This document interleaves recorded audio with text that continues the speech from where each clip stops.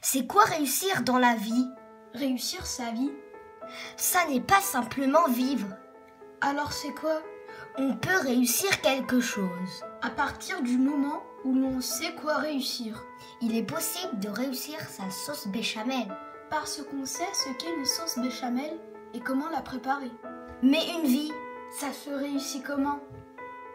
Abonnez-vous à notre chaîne.